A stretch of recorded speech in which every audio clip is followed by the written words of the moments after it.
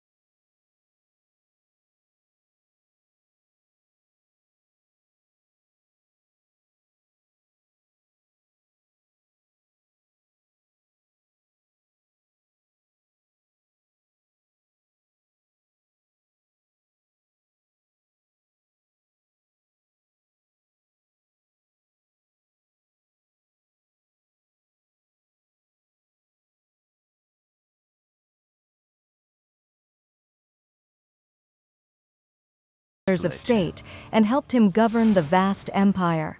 She was no longer just a woman of the harem, she was a queen. Hurrem's rise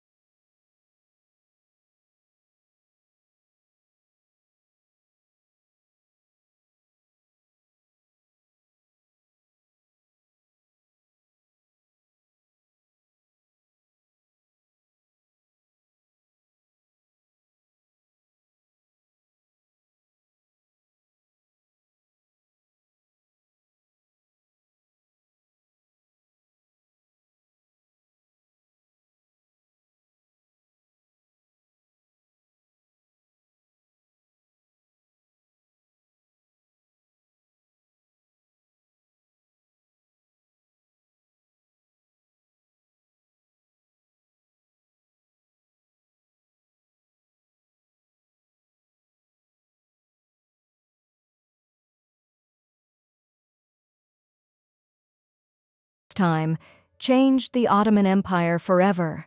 Hurrem was not only Suleiman's queen, but also his most trusted partner, shaping the empire alongside him.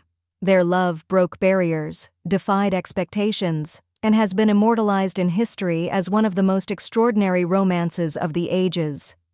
Hurrem and Suleiman's love was more than a fairy tale. It was a union of hearts and minds, where two people from vastly different worlds found in each other a connection so deep that it changed the course of history.